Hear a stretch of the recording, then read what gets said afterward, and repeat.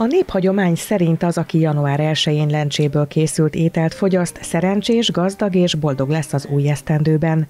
Többen tartják is, hogy az év első napján lencsét esznek valamilyen formában. Nekünk fontos, hogy az egész családnak, hogy tegnap is ettünk, meg az a bőség miatt. Minél több legyen, hogyha előző évben is eszel, akkor is több legyen, ha most is eszel, még több legyen. Úgyhogy mindig csak a többet, többet kell nézni. Úgyhogy nekünk ez ezért számít, és sok lencsét kell lenni mellette borsót is, mert az is jó, meg finom, meg finom, úgyhogy az egész családdal eljöttünk. Még nem voltunk itt, nekünk ez az első, de szerintem meg össze is hozza így az embereket. Jó így látni, csönd van, szól a zene, minden.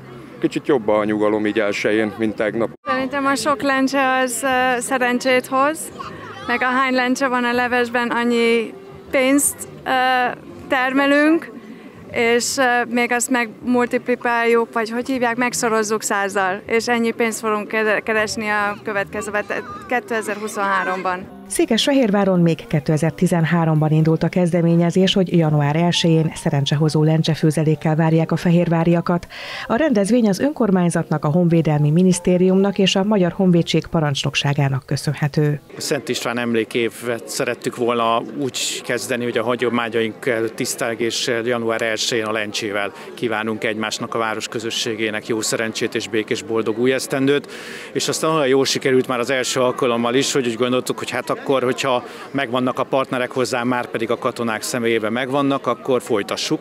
És hát most főleg ebben csodálatos szinte tavaszi időben itt tényleg sok-sok száz ember jött el, és békésen beszélgetve eszik a finom lencsét, kívánnak egymásnak is békés boldog új esztendőt, úgyhogy jó így kezdeni az évet. Bízom benne, hogy ez a pozitív hangulat az egész évre is majd jellemző lesz. Az összesen 1500 adag főzeléket a Magyar Honvédség gulyáságyúiban és a Rostási Hagyományos Konyha Kft. fazekaiban készítették, mellé pedig idén is egy pohár meleg teát kínáltak a pláza előtti téren.